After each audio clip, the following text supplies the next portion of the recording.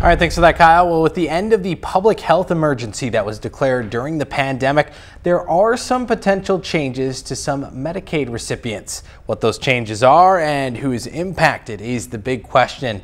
Joining us this morning with answers from Gundersen Health System is Dr. Mary Lou Bintz.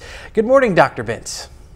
Good morning. Pleasure to be with you. Thanks for joining us. So, what is happening with Medicaid since the end of the public health emergency?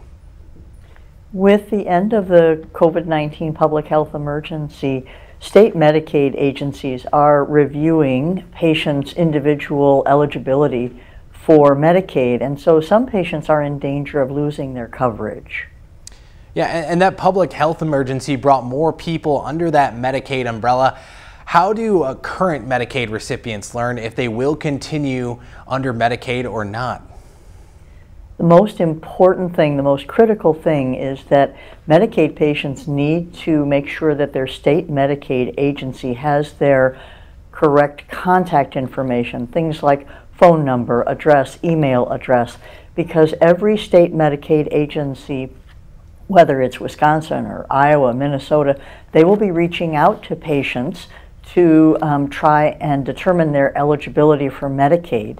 And when they do that, they may also be sending patients what's called a renewal form, and that renewal form must be filled out and returned very promptly. So first make sure the state Medicaid agency has your correct uh, contact information, and then also watch your mail very, very carefully.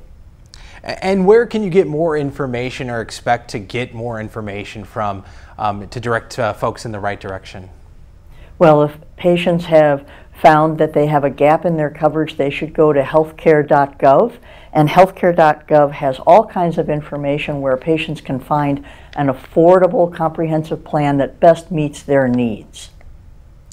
Well, Dr. Bintz, thank you so much for your time this morning. And we do have all those resources over on our website, WXOW.com. Thank you.